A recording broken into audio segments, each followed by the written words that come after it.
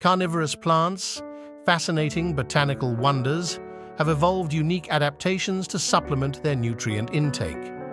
These remarkable species, found in various ecosystems globally, employ carnivory as a survival strategy in nutrient-poor environments.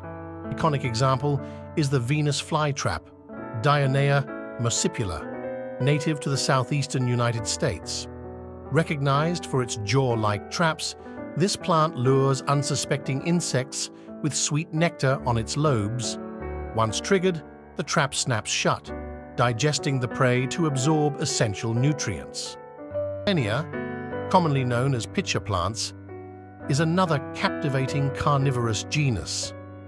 With modified leaves forming tubular structures, these plants collect rainwater, attracting insects. Slippery surfaces and downward-pointing hairs prevent escape, leading insects to a digestive liquid pool at the base. At Nepenthes, or tropical pitcher plants, thrive in Southeast Asia. These climbers boast elongated pitcher-shaped leaves filled with digestive enzymes.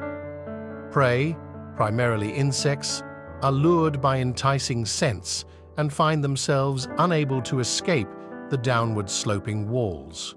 Drosera, or sundews, are renowned for their glistening, sticky tentacles. These plants ensnare insects with a glue-like substance, securing them while enzymes break down their bodies. Sundews are distributed across diverse habitats, showcasing the adaptability of carnivorous plants.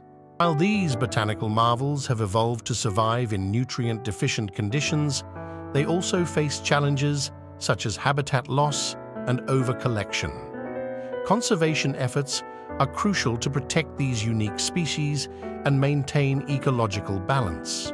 Conclusion Carnivorous plants exhibit extraordinary adaptations, demonstrating nature's ingenuity.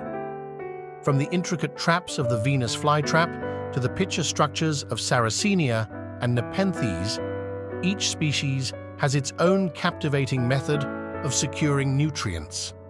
As we marvel at these wonders, let's also strive preserve their habitats for future generations to appreciate.